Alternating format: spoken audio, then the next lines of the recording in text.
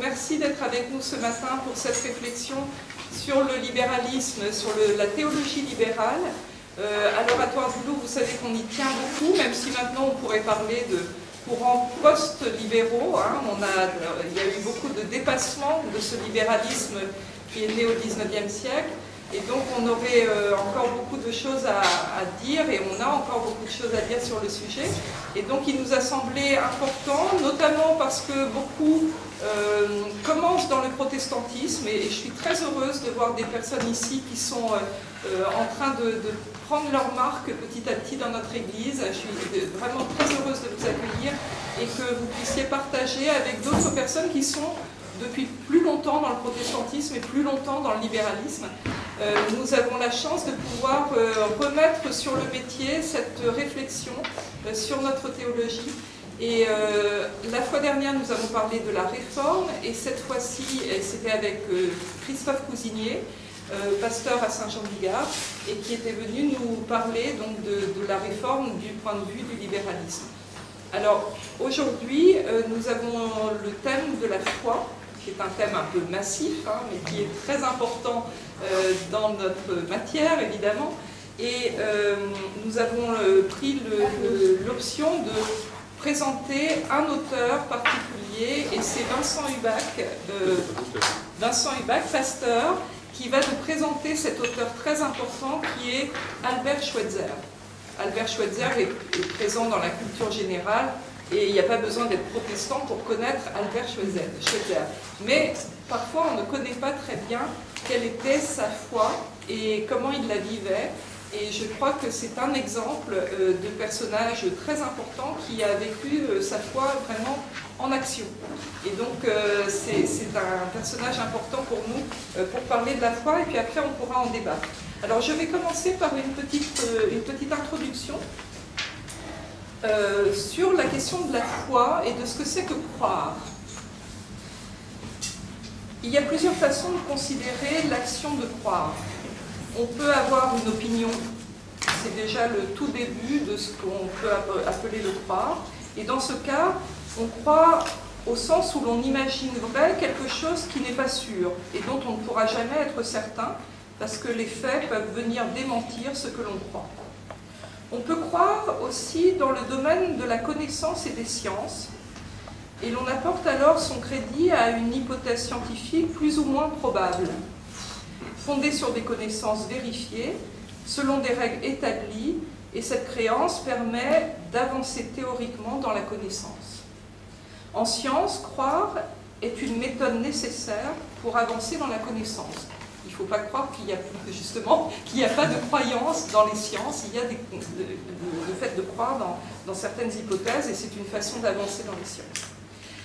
Pour le grand théologien Thomas d'Aquin, euh, au Moyen Âge, la foi est l'adhésion de l'intelligence à quelque chose qui n'est pas vu ni su. Donc il est question d'une adhésion de l'intelligence. Au XIIe siècle, Hugues de Saint-Victor écrit que la foi est une certitude à propos de choses absentes qui se situent au-dessus de l'opinion et en dessous de la science. Donc là, vous voyez, on a un entre-deux où on sait des choses, mais en même temps, on ne peut pas les prouver. On a des certitudes, mais on ne peut pas les prouver. Et euh, on a donc quelque chose qui est entre l'opinion et les sciences. Bien plus tard, le philosophe Emmanuel Kant, qui inspira la théologie libérale, dira de la foi qu'elle allie une suffisance subjective, c'est-à-dire une conviction intérieure très forte, avec une insuffisance subjective, c'est-à-dire qu'on ne peut démontrer ou prouver ce que l'on croit.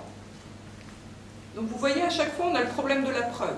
On ne va pas pouvoir prouver ce que l'on croit en matière de foi. Et pourtant, c'est une conviction très forte. Et pourtant, il y a une connaissance aussi en religion. Ceci revient à être certain, à être convaincu de ce qui n'est pas sûr et ne peut être démontré. Et cette attitude a donc toutes les raisons d'être critiquée par la raison. La foi apparaît comme une attitude très contestable par la raison. Et donc le rationalisme va évidemment avoir toutes sortes de griefs contre les questions de foi. Dans les perspectives que nous venons d'évoquer, qu'elle soit une adhésion à une doctrine ou le fait d'adopter une croyance, la foi est arrangée du côté des activités de la pensée. Mais elle n'est alors qu'un début pour le croyant, c'est-à-dire qu'elle aura besoin que d'autres activités ou d'autres actes volontaires viennent la parfaire. On peut décider d'adhérer, mais après il va falloir donner forme à la foi. Il faudra lui donner forme avec des actes de charité, par exemple, selon la théologie euh, chrétienne, ou alors avec une piété vécue, et donc euh, des, choses qu'on va pouvoir euh, faire dans, le, dans ou une contemplation des œuvres de Dieu dans la prière et la contemplation. La foi représente alors un élément, certes fondateur, mais un élément seulement de la vie chrétienne. D'après un autre philosophe euh, qui s'appelle Trulch, dans son livre sur la foi, dans le Nouveau Testament comme dans la Réforme protestante, il dit que la foi désigne la totalité de la vie chrétienne. Et c'est là qu'il y a un changement par rapport à la scolastique classique catholique, donc à la théologie classique du catholicisme. Dans la réforme protestante, la foi ne désigne pas un début qu'il va falloir ensuite enrichir d'actes volontaires, et ça n'est pas une adhésion euh, à proprement parler à une doctrine, mais c'est la totalité de la vie chrétienne. Luther affirme que la foi opère et que l'amour en découle. John Wesley, le penseur euh, théologien anglais, dira que la foi n'est pas une simple croyance rationnelle, spéculative, un assentiment froid et sans vie, une série d'idées dans la tête, c'est surtout une disposition du cœur. Donc là, vous voyez que la vie entière, la vie affective aussi, est transformée par la foi. Le théologien Rudolf Bultmann dira qu'elle n'est pas un savoir, mais une aventure existentielle. Il ne faudrait pas nier ce côté existentiel dans les écrits doctrinaux catholiques, qui existent aussi. Le pape Benoît XVI, dans le catéchisme de l'Église catholique en 92, affirme que la foi est d'abord une adhésion personnelle de l'homme tout entier à Dieu. Donc là, on retrouve cette entièreté de, de la vie humaine. Mais il ajoute qu'elle est en même temps et inséparablement l'assentiment à toute la vérité que Dieu a révélée. Et c'est là où le magistère de l'Église travaille pour donner aux fidèles euh, ce qu'il doit croire. Donc vous voyez, là, c'est très balisé par le magistère.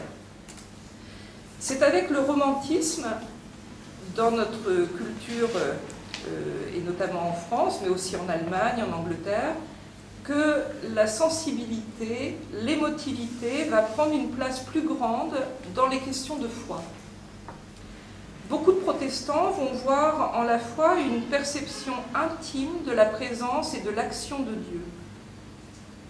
Elle est alors le sentiment vécu de la transcendance, de ce qui nous dépasse, et parallèlement, une non-acceptation intellectuelle de nombre de croyances. Donc il y a des choses qu'on va évacuer au nom de cette émotion, de ce sentiment religieux, parce que le fort intérieur va trier et va décider euh, de, de, garder certaines choses et va être saisi par certaines choses et pas par d'autres. Avec Schleiermacher, la foi devient un sentiment pur et simple de dépendance. Donc là, on est dépendant de Dieu et on n'a pas de choix particulier, on a ce sentiment qu'on dépend de Dieu. Au XXe siècle, après une époque qu'on a appelée la scolastique ou l'orthodoxie protestante, où la, la recherche intellectuelle était centrale, ainsi que le souci d'énoncer une bonne doctrine chrétienne, le protestantisme va mettre l'accent sur la sincérité de la foi et donner un rôle capital à la subjectivité. Deux courants vont voir alors euh, le jour et cohabiter ensemble le réveil et le libéralisme. Ils ont en commun de cultiver une certaine affectivité religieuse. On a même des récits où les cultes se transformaient en grands sanglots. Les fontaines de larmes, exactement. Alors, entre deux guerres, Karl Barth va combattre ce sentimentalisme. Karl Barth est un théologien allemand qui va vouloir revenir à une doctrine et une orthodoxie dans le protestantisme. Et il va combattre ce sentimentalisme de la foi en affirmant que ce que l'Église a à faire, c'est d'annoncer la parole de Dieu sans que s'y mêlent les sentiments humains. Pour les réformateurs, la foi est avant tout la présence agissante du Christ dans l'existence des fidèles. Comme le dit Paul dans l'épître aux Galates, la foi est le Christ qui vit en nous. Plus précisément, elle est ce que le Christ fait naître en nous. Dans cette rencontre entre le fidèle et Dieu par Jésus le Christ, Dieu a l'initiative. Luther affirme dans le prélude sur la captivité babylonienne de l'Église que la foi est l'œuvre de Dieu et non de l'homme. C'est Dieu qui donne la foi. Elle est donc saisissement, comme le dira Paul Tillich.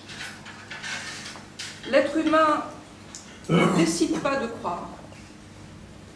La foi lui arrive comme dans un saisissement amoureux. Mais pour que ce saisissement puisse avoir lieu, il faut que le Christ ait été annoncé, et le Christ comme sauveur, c'est-à-dire comme pardonnant gratuitement, par amour inconditionnel, sans contrepartie, le péché de l'homme, est donc à l'œuvre dans cette foi intime. C'est cette rencontre avec le Christ et l'intimité avec lui qui, d'après la théologie des réformateurs, nous pousse à agir dans le monde en croyant. La vie tout entière en est convertie, et c'est dans cette conversion que la grâce devient évidente.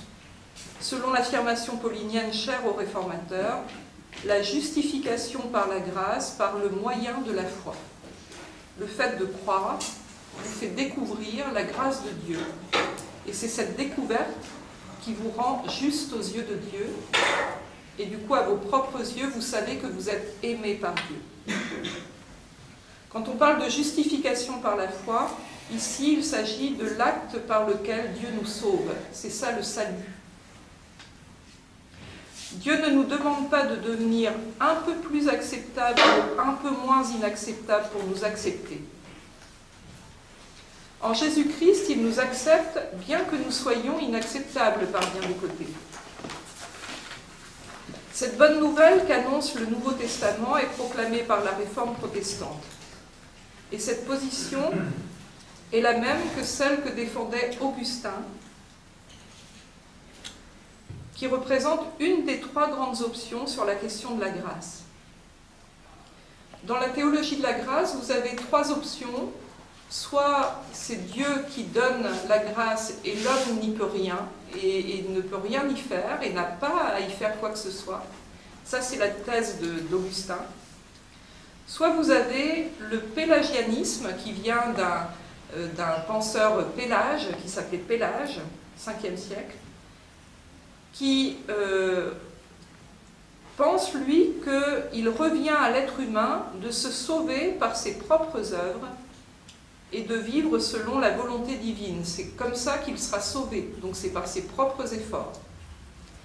Luther a fait cette expérience de vouloir suivre euh, le chemin du salut en se, euh, comment dire, en se flagellant, hein, euh, mais au sens propre même. donc c'était un moine qui a recherché ce salut et il a découvert dans une sorte d'expérience mystique qu'il n'y arriverait jamais par ses propres forces et que c'était uniquement par la foi seule qu'il serait sauvé de son péché. C'est ce qui a donné la réforme. Donc on peut avoir le pélagianisme, et puis la troisième voie, c'est un semi-pélagianisme, c'est-à-dire une collaboration entre Dieu et l'homme pour le salut de l'homme. Mais dans le protestantisme, c'est Dieu qui agit, et c'est Dieu seul qui sauve par la foi, et c'est le seul moyen de salut. Il n'y a pas besoin de faire ses preuves pour que Dieu nous aime. Il nous aime le premier. On comprend aisément pourquoi, dans cette perspective, la foi comme saisissement et reconnaissance de l'initiative de Dieu pleine et entière nous donne un accès particulier à la mystique. Et la mystique a donc pu tenir une place importante dans le protestantisme, et notamment dans le protestantisme libéral, où la relation intime à Dieu et au Christ ne requiert aucune doctrine particulière. Il s'agit d'une relation. Mais véritablement, il s'agit d'une rencontre et d'un saisissement. C'est l'un des mystiques de la foi protestante libérale que nous avons choisi de vous présenter ce matin. Moi, je le trouve, en tout cas, je le classe parmi les mystiques. Euh, et il est l'exemple hein, de l'incarnation de la foi dans le monde. Il va avoir cette relation intime euh, avec Dieu et le Christ, et il va en faire toute sa vie dans le monde. Il s'agit d'Albert Schweitzer, qui est à la fois contemplatif du Christ et de son action en nous, et en même temps qui est un grand actif, même, même un hyperactif de la foi chrétienne. Mais je laisse la parole à Vincent Hubac pour euh, nous parler de cet euh, homme aux multiples facettes. Vincent, c'est à toi. Merci. Merci de m'accueillir pour parler d'Albert Schweitzer, euh, que je connais un petit peu, mais je ne connais pas tout Schweitzer, loin de là. Donc ce qu'on va dire là, j'espère que ça vous mettra l'eau à la bouche pour que vous puissiez continuer à, lire les textes qui au moins sont sortis en français. Il n'y en a pas beaucoup malheureusement. Mais enfin, ce sont des textes particulièrement décisifs. Euh, je voudrais, euh, il y a des textes que je connais bien, il y en a que je ne connais pas. Je voudrais dire euh, à tous les nouveaux qu'il faut faire attention quand on met les pieds à l'oratoire. Moi, j'ai mis les pieds à l'oratoire il y a plus de 70 ans, vous voyez, j'y suis toujours. Et donc, méfiez-vous. On s'incruste. bon, bon, ça c'était une plaisanterie. donc, on va un petit peu essayer de rencontrer ce personnage, Albert Schweitzer, qui est qui est très connu évidemment du grand public parce que vous savez qu'il a été prix Nobel de la paix en 1952 et que euh, on, va le voir. Et ensuite, dans les années 50, euh, Gilbert Cesbron, qui était un, des auteurs les plus connus et les plus lus de l'époque, dans les années 50 et 60, a écrit un livre qui s'appelle euh, Les minuit Dr Schweitzer, qui est sorti au cinéma chez nous, mais dans tous les cas en, pièce de théâtre aussi. Donc c'est un personnage vraiment public, c'est comme ça qu'on le connaît finalement. Mais euh, c'est tout, en gros. À moins d'être alsacien euh, euh, du côté des, vallées vosgiennes, Schweitzer est, pas très très connu quant à sa pensée, hein, véritablement. Donc on va essayer de débroussailler un petit peu le terrain et voir comment on peut le, situer. Alors, Albert Schweitzer est né à Kajasberg en 1875 et il est mort à Lambaréné en 65. il y a comme, enfin, il n'y a pas très longtemps évidemment. Et, euh, il a vécu sa jeunesse et son enfance à Gunsbach, c'est-à-dire dans un petit village d'une des vallées vosgiennes. Euh, donc si vous allez, à, ne savez pas quoi faire en vacances, eh bien vous pouvez aller vous balader, voir euh, Ribeauvillers, Riquevire, Kaisersberg, etc. Tous ces villages alsaciens qui sont très typiques, et, et vous passerez certainement un très bon moment. Et vous verrez la, maison des Schweitzer à Gunsbach. C'est intéressant, parce que à, Gunsbach, son père était pasteur, euh, et, là, il a, il a, baigné dans le protestantisme en, tant qu'enfant de pasteur à la fin du XIXe siècle. Il, devait assister à tous les cultes, euh, très vraisemblablement sans qu'on lui demande son avis. dire. Et, là, il était très très frappé. Euh, il y a une part de sa vocation qui vient de là. Il a été très très frappé parce que quand il regardait le buffet d'orgue, il, voyait un visage qui apparaissait de temps en temps et qui disparaissait mystérieusement. Et, Et ça lui, posait problème, ça lui faisait peur de voir ce visage qui apparaissait, je veux dire. Et euh, en fait, c'était un miroir qu'il y avait sur le, sur le buffet d'or qui permettait à l'organiste, s'il se penchait un tout petit peu, de voir le pasteur qui pouvait lui envoyer un message. Vous savez, parfois les pasteurs parlent à l'organiste, comme moi dimanche dernier quand je me suis trompé de, culte, de, pas de de, de, de cantique, hein, de cantique. Et donc il avait fallu que je dise, à, je parle avec l'organiste à, à, ce moment-là. Bon, Mais dans beaucoup d'églises, vous avez un miroir comme ça qui permet à l'organiste de, suivre le culte. Et donc, euh, il, il, était frappé par les orgues, etc. Enfin bref, il a, il découvert comme ça. Et ceci dit, euh, il va devenir, euh, entre autres, euh, un, un, organiste, enfin un joueur d'orgue réputé, mondialement réputé, vraiment, hein, et facteur d'orgue aussi. Il a écrit un livre sur la manière de construire des orgues, hein, carrément, et un très très grand spécialiste Jean-Sébastien Bach. Donc vous voyez, là, au niveau musical, c'est quand même quelqu'un qui, compte énormément pour dans ce domaine, ce n'est pas tout à fait le nôtre, encore que Bach est un, peu, un petit peu marqué par la théologie, évidemment, mais euh, voilà. C'est un personnage euh, aussi qui euh, appartient à cette famille. Euh, moi, j'ai rencontré son cousin que j'ai très très bien connu, vraiment, qui, qui, lui ressemblait comme deux gouttes d'eau. Quand on voyait l'un, on avait l'impression de voir l'autre. Et il, c'est des gens qui ont une santé d'acier, ce qui pour le ministère de Jean-Sébastien Bach va compter, parce que passer 15 euh, séjours en Afrique à l'embarrainer, euh, il faut, tenir le coup quand même. Hein. Je veux dire, c'est pas, pas si évident que ça. Il y a un caractère, euh, disons, très fort. Voilà. Ensuite, euh, il était très très misogyne. il faut le savoir. C'est un truc qu'on ne dit pas, mais euh, rencontré une de ces infirmières de l'embarrainer qui me l'a dit. Donc voilà. Mais c'est un personnage assez sympa. Dans son jardin, il ne cueillait jamais de fleurs, par exemple. Il ne fallait pas abîmer les fleurs, euh, partir à la création, etc. C'était vraiment un écolo euh, euh, avant la lettre, à un point pas possible. Hein, je veux dire, euh, voilà. Et on dirait, quand il fallait qu'il se nourrisse de, de, de, viande, il prenait juste ce qu'il fallait, et pas plus. il ne voulait pas qu'on tue les animaux, etc. Enfin bref. Donc c'est cette personnalité-là qu'on qu va rencontrer. Donc c'est un personnage entier qui a un caractère très, marqué, euh, qui est très décidé finalement, et c'est ce qui, c'est une de ses caractéristiques humaines. C'est intéressant de le savoir si vous vous lancez dans la, dans la lecture de, de, Schweitzer, il faut le savoir, c'est un petit peu. Alors, il est alsacien et, euh, donc il a, grandi dans le luthéranisme.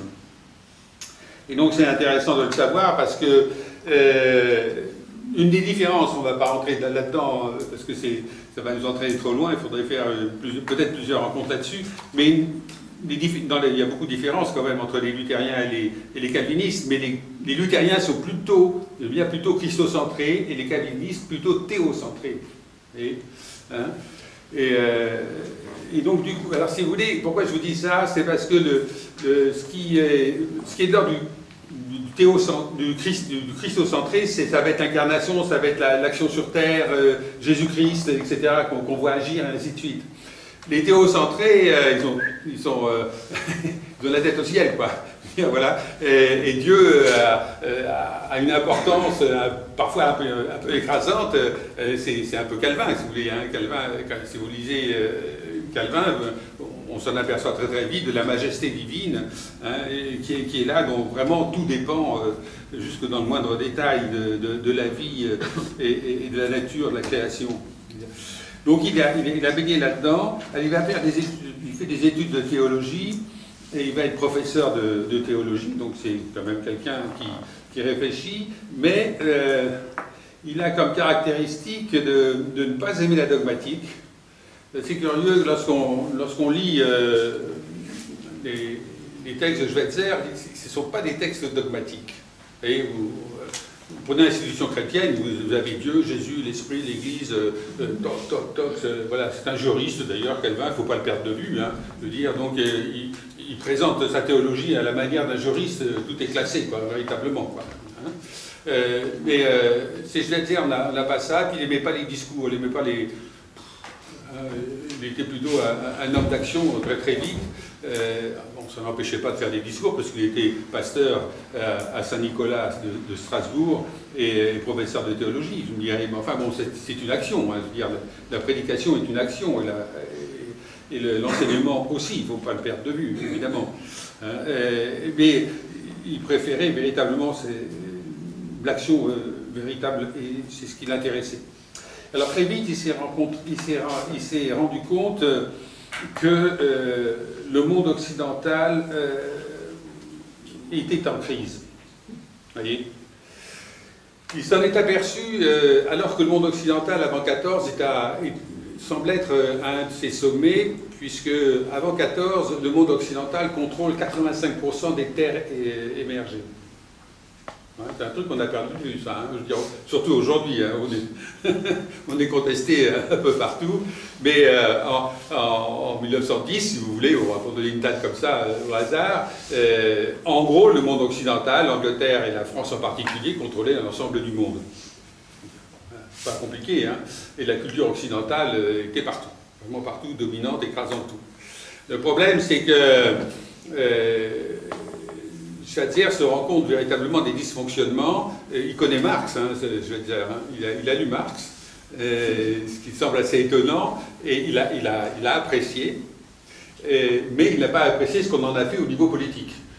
une différence entre, je ne sais pas si vous avez lu, du Marx, je ne sais pas, ou Engels, c'est pas une lecture de chevet, hein. Surtout qu'aujourd'hui c'est plus tellement à la mode, mais euh, euh, c'est un peu dommage.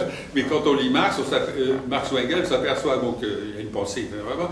Mais ce qui a été fait au niveau de politique à partir de la révolution russe, correspond pas tout à fait. Euh, il y, a, un dérapage. Enfin, c'est des choses qui arrivent malheureusement.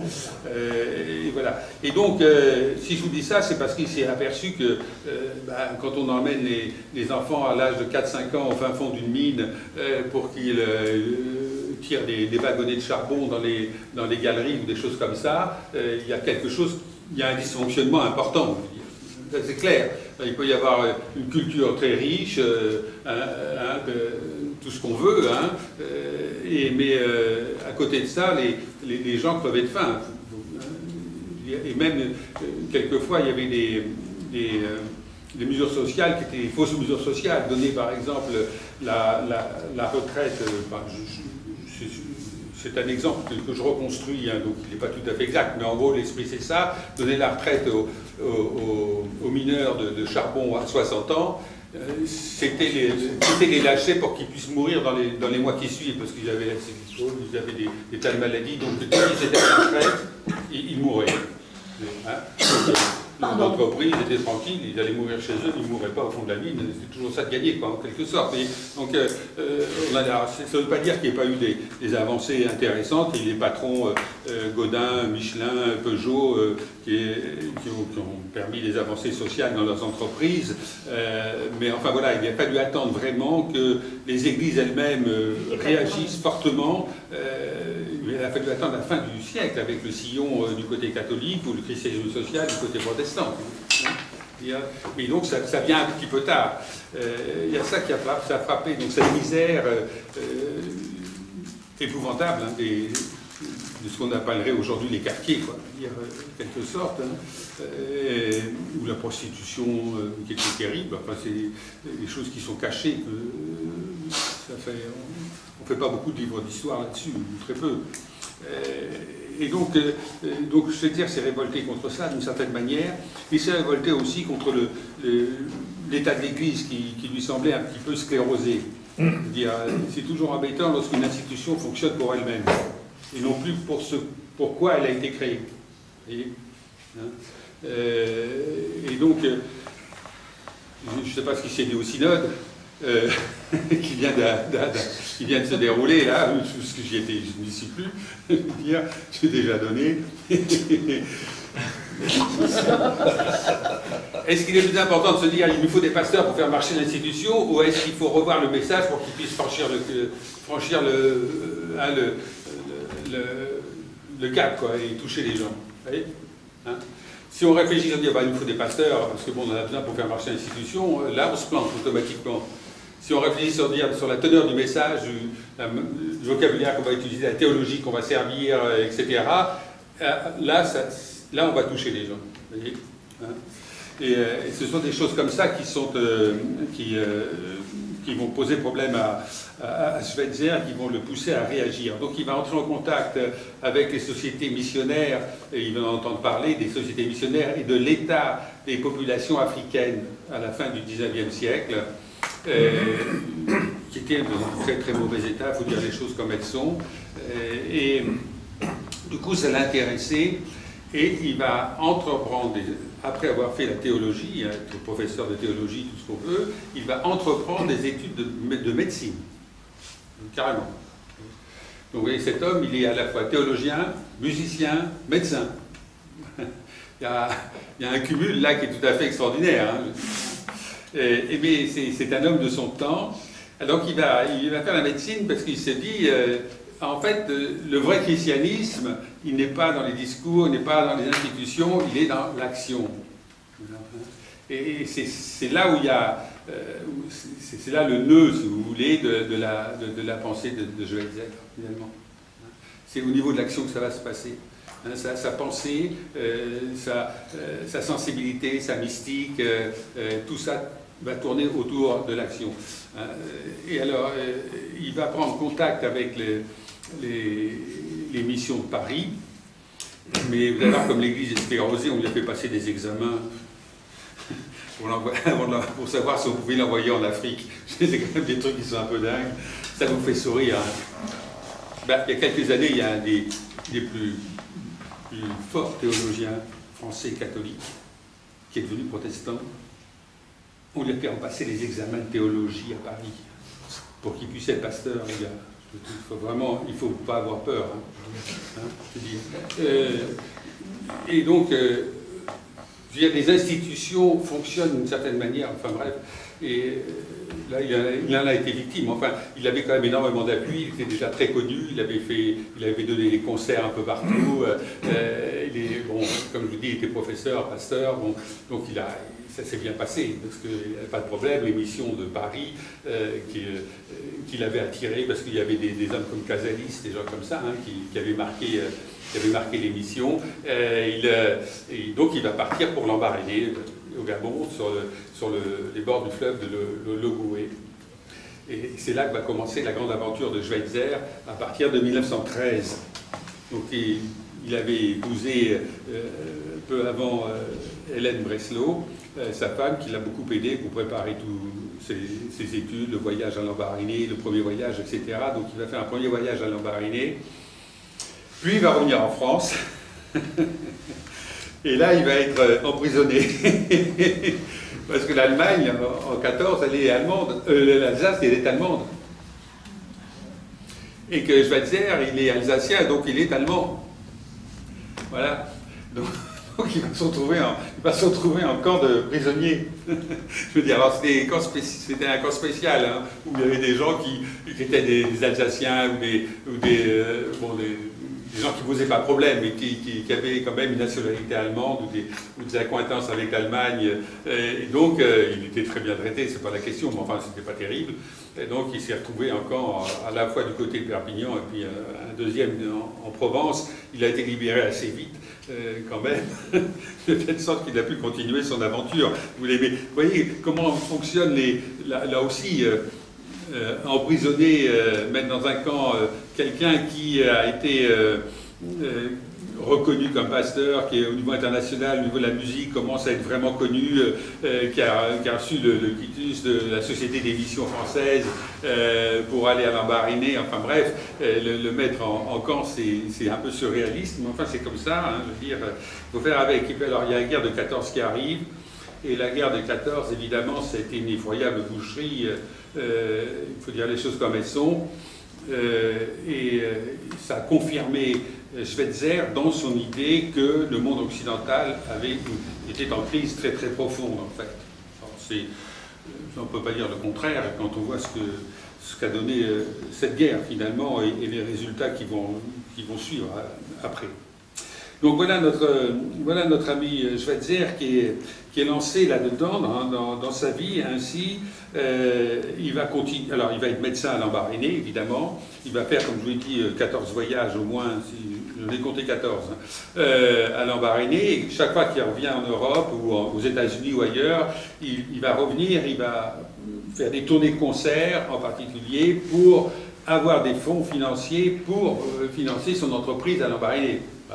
Quelquefois, quand il revenait euh, de, France ou d'ailleurs à Lambaréné, ben, il y avait des bâtiments qui s'étaient effondrés, euh, enfin bref. Donc il, y avait, tout un travail d'infrastructure à, faire, de formation de, personnel, de choses comme ça. bon, il, le raconte, hein, dans, sa vie, sa pensée, dans l'orée de la forêt vierge, enfin, ces livres où il y a c'est livres où il y a sa, biographie. donc, euh, il, a, cette vie euh, qui est là, et donc euh, il, va, entrer là-dedans complètement, et ça va devenir emblématique, cette histoire de, de Lambaréné, de, de, véritablement de Schweitzer, de ce qu'il est, de son christianisme. C'est un libéral, c'est un libéral luthérien qui a un grand intérêt pour la science, et alors c'est vrai que le 19e siècle est euh, le, siècle de la découverte de la science. Il n'y a plus d'interdit finalement, comme il y avait jusqu'au 18e siècle inclus avec l'Église qui pouvait bloquer ici ou là. Jusqu'au 19e siècle, ça va éclater, et en particulier tout ce qui concerne l'évolution. Hein, euh, pour vous donner une idée, le 19e siècle, c'est Cuvier, Lamarck euh, et Darwin, c'est Boucher de Perte aussi. Boucher de Perte, c'est le, c'est un paléoanthropologue, enfin c'est le premier, c'est le père de la préhistoire, qui dans les sables de, la vallée de la Somme, du côté de la ville, a trouvé des, bifaces, hein, du côté de Saint-Aquel. Donc ça donnait, euh, ça donnait son nom à une période de la préhistoire qu'on appelle l'aqueléen. Dire, euh, euh, ce, sont des, galets qui doivent remonter à 400 000 ans, enfin je ne sais pas, peu importe, mais à partir des années 1830, petit à petit, va s'installer l'idée que l'être humain a des origines qui sont très très lointaines, euh, de, plusieurs centaines de milliers d'années à ce moment-là. Euh, pareil avec la, création, le récit de la création biblique qui faisait autorité va voler en éclat. Vous savez que Buffon, déjà à la fin du XVIIIe siècle, pensait que la, Terre euh, n'avait pas les, 4 ou 5 000 ans qu'on lui donnait à partir des, recherches bibliques, qui était le, un peu la théorie officielle, et il pensait 2 ou 300 000.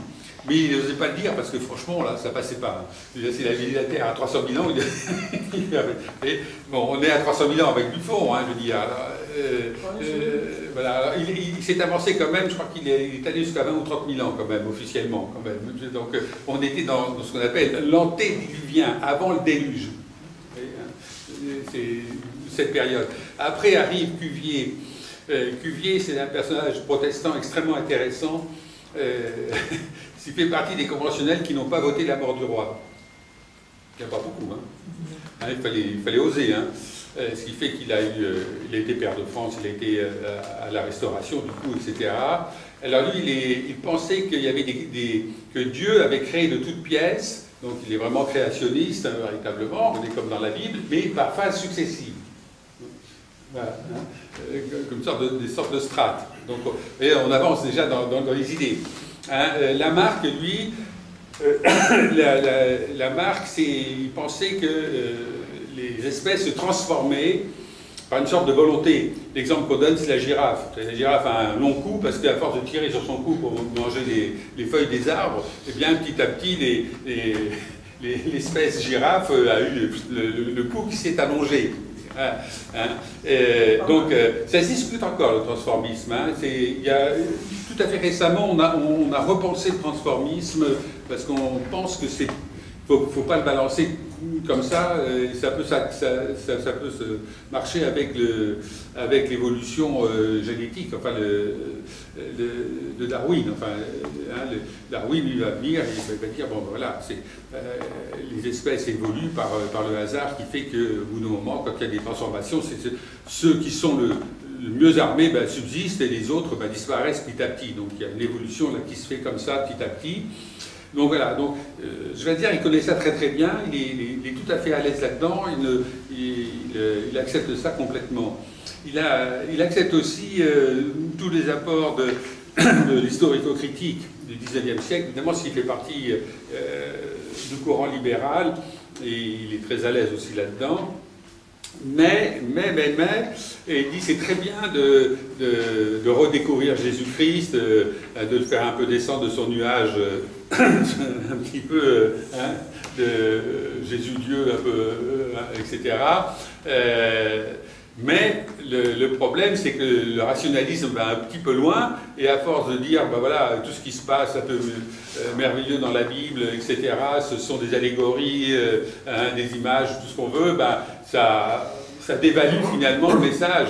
Ça, rend, le message beaucoup plus fade. Il doit y avoir une autre lecture à faire, finalement, pour rendre euh, le message euh, du Nouveau Testament euh, un, peu, peu plus signifiant que ce que le rationalisme était en train de faire.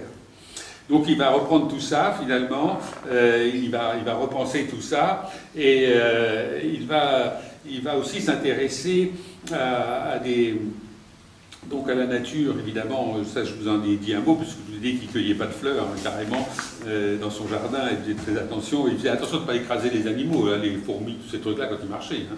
Je ne sais pas quand si vous baladez, vous faites attention à ça, mais, euh, comme disait Théodore Monod, là, dont le buste est là, et, on pourrait dire qu'il appartient à la même veine un petit peu, finalement à la même école. Hein.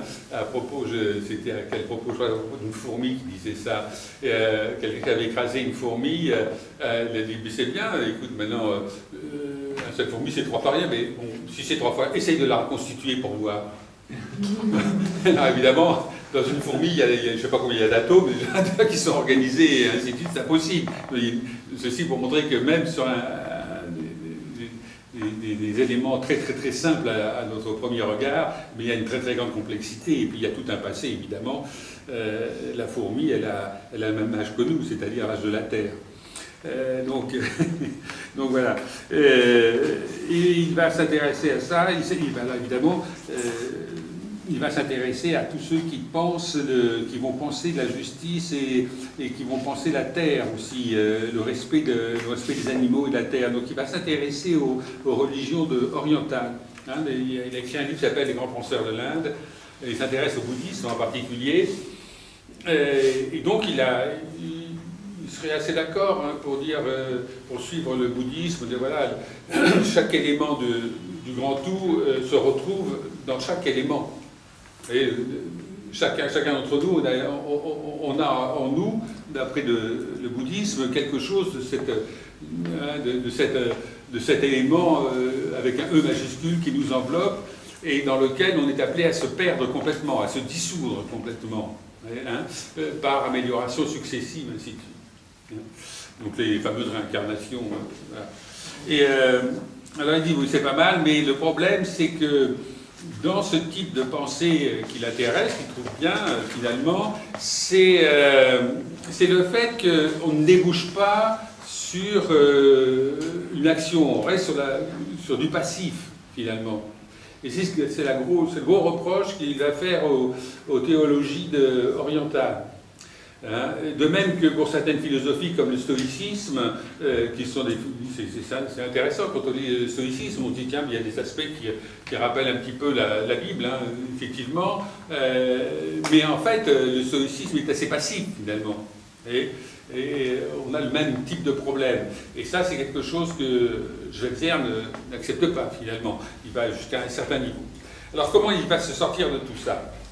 Comment il va se sortir de tout ça face à cette prise de conscience euh, de l'échec de la, civilisation, je dirais pas de la culture, mais de la civilisation euh, occidentale, euh, face un petit peu aux scléroses qu'il constate en théologie même, finalement, des discours qui sont très intéressants, peut-être très bien bâtis, mais pour lui ça l'intéresse relativement peu, dire comment il va s'en sortir il va partir de, l'idée que le rationalisme c'est bien, le rationalisme va expliquer tout, même euh, la nature, le, Jésus-Christ lui-même, etc. Mais qu'il y a un moment donné où ça bute. Ça, s'arrête. Et c'est là qu'il faut poursuivre le libéralisme. Il faut, il, faut, entrer dans le libéralisme et en même temps le dépasser.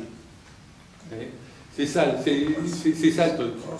Donc il va, il va utiliser les études historiques de Jésus, par exemple, sur Jésus, mais il va les dépasser. Il va les, reprendre, etc. Hein. Donc effectivement, il va se saisir de Jésus, hein, hein, de, Jésus de, la Bible, et il va, il, va le, placer et le, et le, dépasser, si je puis dire, quant à son message, dans l'idée que euh, le Nouveau Testament, c'est un livre entièrement juif. Et que Jésus est vraiment un personnage juif à 100%. Il est dans cette mentalité complète, complètement. Et donc, euh, il va lire tous les, tout, ce qui est euh, miracle, etc., comme étant réel. Comme c'est en, passé, comme c'est marqué dans la Bible, dans le Nouveau Testament. Hein, euh, on a du mal, quand on est libéral, à l'achat d'oratoire, de dire ben, Hein, euh, Lazare est sorti de sa tombe euh, hein, sur ses pattes arrière, euh, hein, comme ça. je ne sais pas si c'était comme ça, mais, bon, non, je sais pas, les pasteurs de l'oratoire, là, bon, on va pas vous balancer ça, on va dire, ben oui, mais c'est une image, peut-être que. Enfin bon, on n'est pas très à l'aise quand même, hein, mais pas Schweitzer. Je veux dire, le gars qui a été guéri de sa lèpre, il a été vraiment guéri de sa lèpre, c'est pas une image. L'aveugle qui a menti sur son chemin à la sortie de Jéricho comme dimanche dernier, ben, il était vraiment aveugle et Jésus lui a vraiment rendu la, vue comme ça, vraiment, il n'y a, pas de problème. Et il dit ça, c'est en fait le, signe de, l'attente messianique du royaume. Jésus, il est juif, il est messie à la manière du judaïsme du premier siècle. Et il annonce le royaume. Et sa venue, sa venue et tous les miracles qui se passent, ce sont les signes de cette actualité du royaume au premier siècle. Et là, il s'inscrit complètement dans la mentalité d'époque. À l'époque, les, Juifs du premier siècle, ils attendaient le royaume avec un roi Messie ou, d'autres variantes. Enfin bon, il y a un événement important qui allait se passer, euh, qui allait rétablir euh, Israël. Enfin bon, il y, a, plusieurs options là qui, sont là. Mais, mais, il est tout à fait là-dedans. Hein? Donc, euh, il y, a cet aspect qui est là. il y a un message fort dans le Nouveau Testament. Jésus annonce l'actualité du royaume. Et c'est de ça dont on va vivre. Le problème, comme disait Alfred Boisy dans les années 1920, c'est qu'on attendait le royaume, mais c'est l'Église qui est arrivée. Et donc, euh, c'est pas, pas tout à fait pareil. Non, il faut, pas.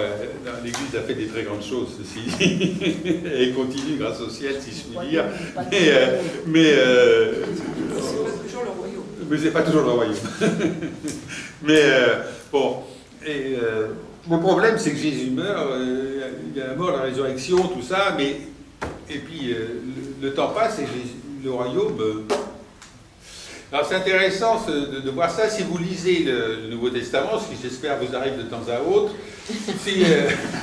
Si, euh, vous prenez les épîtres Thessaloniciens, qui sont les, premières, les, premiers textes, euh, que les premiers témoignages écrits que l'on a après la mort de Jésus, voyez, donc les épîtres Thessaloniciens datent euh, entre 20 et 25 ans après la mort de Jésus.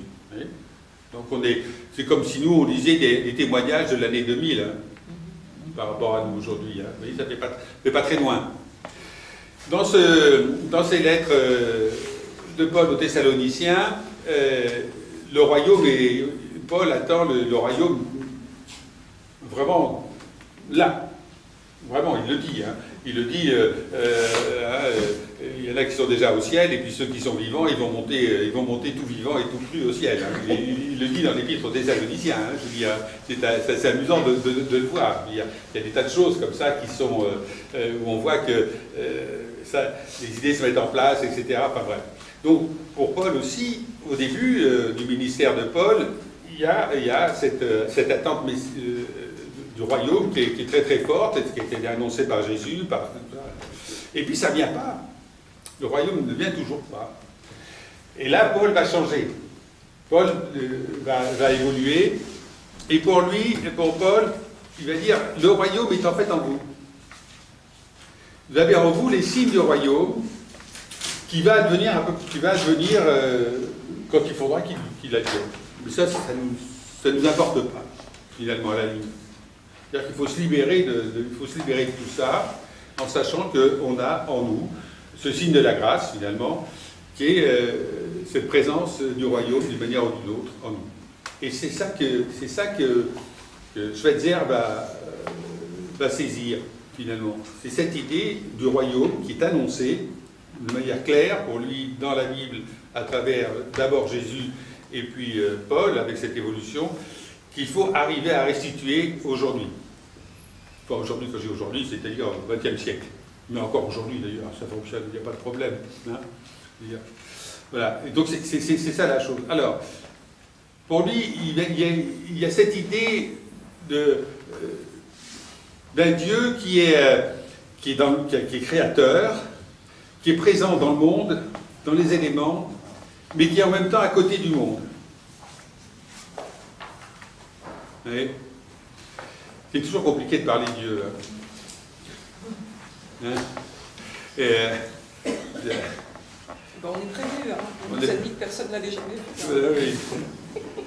enfin, et euh, ce qui, la démarche qui, qui, va être la démarche mystique finalement de, de Schweitzer, c'est d'arriver à, par sa volonté, à faire euh, vivre cette euh, actualité du royaume euh, qui, est, en soi dans l'action, la faire déboucher sur l'action pour montrer que ce royaume est bel et bien là et que on l'attend, l'attend en plénitude, ça il n'y a pas de problème, et qu'on est avec Dieu. On n'est pas dans la fusion avec Dieu, comme dans certaines religions orientales ou dans des gnoses ou des choses comme ça, mais on est à côté de Dieu, avec Dieu, et, et, on, a cette volonté qui est là. Donc il faut qu'il arrive au niveau de la mystique d'unir la volonté humaine de faire advenir le royaume à partir de ce que l'on ressent, de, de, faire advenir cette, de faire marcher cette volonté avec la volonté de Dieu qui lui veut, euh, en grand si je puis dire, euh, cette, cette installation du royaume. Et c'est ça la mystique de, de Schweitzer, ça va être une mystique de l'action, précisément. C'est dans l'action, précisément, l'action diaconale, hein, de, la justice et de l'amour, qu'on va faire, euh, qu'on va saisir véritablement ce qui est en nous, véritablement, de, cet amour de Dieu, de, cette possibilité d'action, et qu'on va la mettre en chantier et, euh, puis, euh, et puis y aller chacun, chacun à son niveau. Donc, du coup, le geste de, de l'engagement de, de, Schweitzer à l'embarrainer, c'est un geste véritablement prophétique, hein, je veux dire, complètement. il, est, il, est, là, pour lui, c'est le noyau, c'est le nœud, c'est de, et de sa mystique, euh, de sa profession de foi aussi, je veux dire, parce qu'on n'a pas de profession de foi de, Schweitzer, hein, je crois pas. Hein. Je n'ai pas, pas, croisé. Non voilà, hein, on n'a pas, euh, voilà, en quoi je crois, etc. Enfin bref, mais si on veut savoir comment il croit et en qui il croit, eh il, faut, il faut entrer dans cette démarche mystique d'une rencontre de, des, volontés de l'homme et de, et de Dieu pour qu'elle soit, je dirais, un petit peu en harmonie, en attendant que le royaume arrive, et donc de, faire advenir, de faire remonter à la surface. Euh, il utilise... Euh, malgré les difficultés hein, euh, du monde, et il fait remonter à la surface euh, justement ces signes du royaume. Il va utiliser une image qui est l'image euh, du bateau qui est pris dans les glaces. Vous savez, les, bateaux qui sont au début du 19e siècle, c'est le siècle des, explorations des, pôles. Donc il y avait des bateaux qui, partaient vers le pôle nord, vers le pôle sud. Donc ils étaient pris, ils étaient pris en hiver par, la banquise, hein, par la glace. Et la glace euh, ou bien écraser le bateau, ce qui est arrivé parfois, hein, euh, mais les bateaux, on les a construits de telle manière qu'on ne puisse pas, euh, de manière un peu circulaire, de telle, vous savez, le principe de l'œuf que vous écrasez, vous ne pouvez pas écraser dans la main. tentez pas trop, hein, Mais, Ça dépend dans quel sens. Mais, mais voilà. Mais il utilise l'image des glaces qui qui sont les, contingences, les injustices, les guerres, les violences qui écrasent le bateau, mais, mais qui, le, bateau lui est écrasé, il va monter, il va être poussé. Hein. Et il utilise cette image. Hein. il dit, c'est ça, c'est ça qui est intéressant, euh, finalement. Et alors, ce, ce, royaume, du coup, il, est, il apparaît comme étant présent dans le monde. Hein. On en a les signes mais il n'est pas en plénitude, ça se saurait. Hein? si on était dans le royaume de Dieu, je pense que s'en aperçoit, ben, j'espère. Et c'est ce qu'on appelle, d'un nom euh, un peu bizarre, l'eschatologie conséquente. Hein? Ça, c'est quelque chose qui est typiquement de Schweitzer. C'est déjà là, le royaume est déjà là, mais pas encore. Hein, c'est une sorte de dialectique entre, entre les deux. Là, on, est vraiment au, cœur même de, de, Voilà, donc toute, cette mystique de, Schweitzer et, sa foi tourne autour de, euh, de, l'action qui est fondée sur l'amour de Dieu, qui est fondée sur la liberté aussi, parce qu'à partir du moment où on dépasse le rationalisme dans la pensée, les contingences euh, euh, qui sont là, on entre dans un espace de liberté complet. Euh, moi, dimanche prochain, je vais prêcher sur la parole de l'épître de Paul aux Corinthiens, la deuxième, deuxième épître de Paul aux Corinthiens, Ma grâce te suffit. Vous savez, Paul écrit à ce moment-là euh, qu'il euh, a fait ceci, cela, qu'il a, a, quand même quelques petits problèmes, et puis il parle de ses souffrances, etc. Et, Dieu lui dit Ma grâce te suffit. C'est fabuleux, je veux dire. Hein. C'est-à-dire qu'à partir du moment euh, où on est dans, la grâce complètement, eh ben, ce qu'on appelle les, contingences, les misères, les, maux, tout ça, sont très très secondaires. Et donc, y a euh, entrer dans, une dynamique de foi euh, et de, confiance comme ça, euh, c'est entrer vraiment dans un espace de liberté. Et donc là aussi, la pensée de Schweitzer et sa vie, la manière dont il a conduit finalement sa vie entre ses, les concerts, l'embariné, etc., c'est une, c'est une démarche de liberté finalement.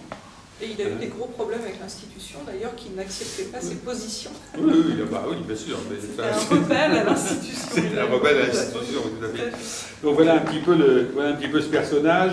Euh, bon, personnellement, moi, c'est quelque chose qui me, qui me, touche assez facilement.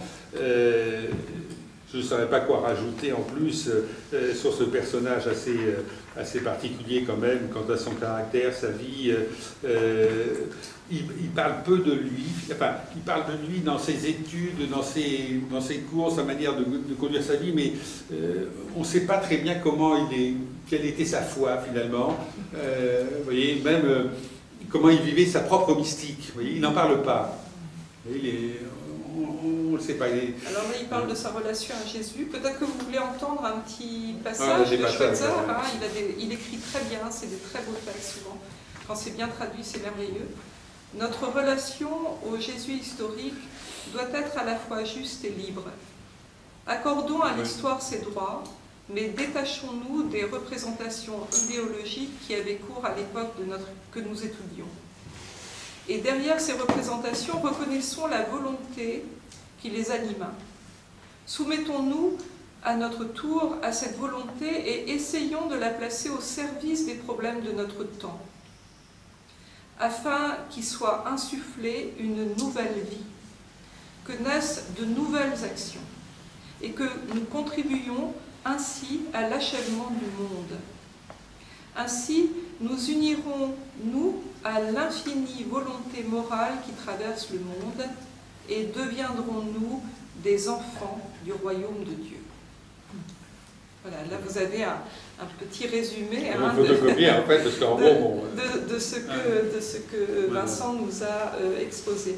Merci beaucoup Vincent.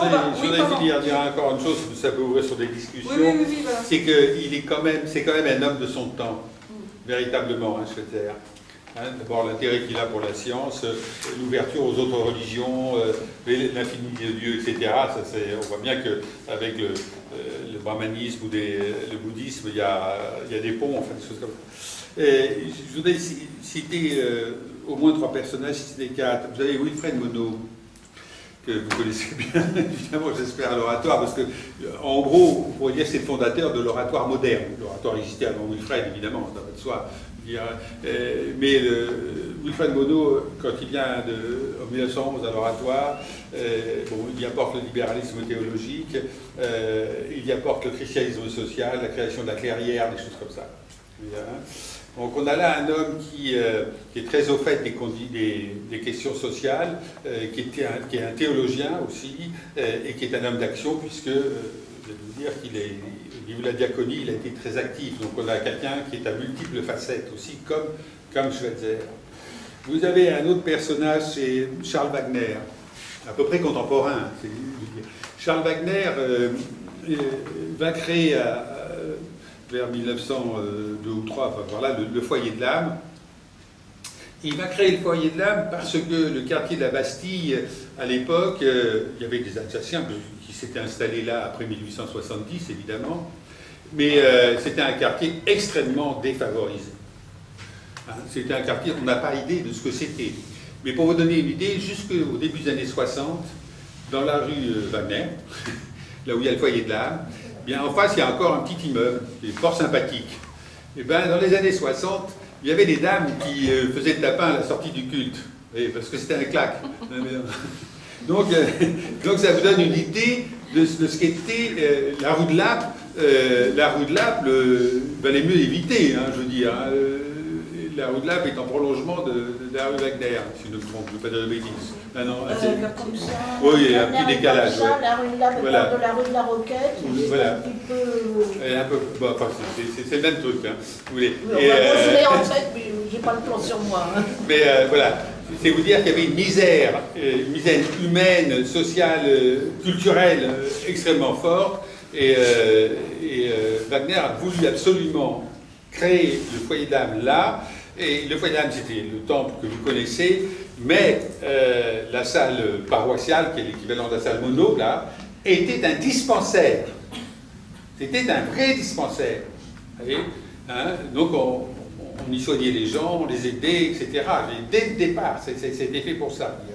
Et Wagner est un peu comme, euh, euh, comme Mono et comme, et comme Schweitzer, c'est un mystique aussi, qui n'est pas un dogmaticien moi, j'ai lu, beaucoup de Wagner, mais je n'ai pas lu de livre de dogmatique de Wagner. Vous voyez? Ce sont des livres d'engagement, de témoignage d'engagement. Hein? Donc on, est sur la, même veine, de, personnages. Bah, et puis c'est un personnage qui a fait des, qui, est allé ramasser de l'argent un peu partout, hein, aux États-Unis. Hein. Il, avait écrit La vie simple, qui a été un des best-sellers de mondial, du bien mondial de l'époque, on l'a oublié, là, qui est traduit en plusieurs langues et, en anglais, euh, Simple Life. Et euh, Theodore Roosevelt l'avait lu. Et euh, Theodore Roosevelt, qui était un homme qui était très sensible, en fait, c'est pas très connu, hein, et l'a fait venir aux États-Unis et lui a fait faire une tournée triomphale à l'américaine aux États-Unis. Donc il, Wagner a ramassé un paquet, un paquet de fric, hein, je veux dire, avec lequel il a construit le foyer de l'âme euh, et avec l'aide aussi de la bourgeoisie euh, parisienne, protestante parisienne. Donc on, et on a, des, gens qui sont des, actifs euh, finalement, il y en a et des, mystiques. Il y en a un autre catholique moi, que j'aime particulièrement, c'est Taillard de Chardin. Taillard de Chardin, c'est aussi un mystique. Hein. C'est un mystique qui vit, avec un Christ, un, Christ cosmique, d'une certaine manière, qui, qui, préside à, à l'évolution du monde et qui attire le monde vers le royaume. Ça s'appelle le point, le point oméga. et c'est aussi un actif. Hein. il, a il participé à la croisière jaune allé jusqu'à Pékin hein, avec les voitures de, les voitures de Renault de, de, l'époque, ce qui n'était pas rien. Il était très copain avec un personnage un peu sulfureux qui est Henri de Montfred. Pas si ça vous dit quelque chose, une sorte de, contrebandier, trafiquant euh, de la corne de l'Afrique, entre, entre l'Arabie et la corne de l'Afrique. Donc, euh, ce personnage particulier, euh, voilà. En plus, c'est un théologien enfin, avec cette, cette, vision, et il était préhistorien aussi. Hein. Il, a découvert, il a participé à la découverte de l'homme de Pékin, hein, qui, était qui, était à l'époque l'homme le, plus vieux connu du monde. Il remonte à peu près à 500 000 ans. Donc, vous voyez, on a des personnages qui sont à la fois euh, dans leur histoire, euh, dans, la science, dans hein, euh, l'activité. Alors, je trouve c'est intéressant de revoir un petit peu la fondation, si vous voulez, de, la mystique chrétienne. il y a d'abord Paul.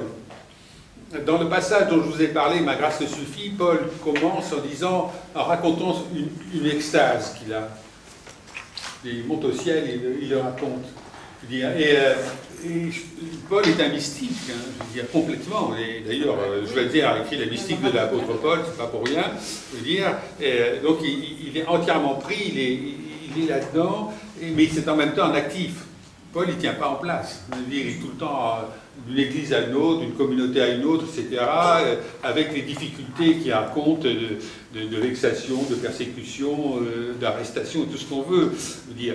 Et ce qui est intéressant, c'est que euh, une fois que la paix commence à s'installer, même s'il y a encore des persécutions graves, au IVe siècle, il y a le début du monachisme. Et euh, les, premiers érémites euh, du désert, on peut penser, bon, ils se retirent dans le désert, bon, ça va, hein, hein mais pas du tout. Hein.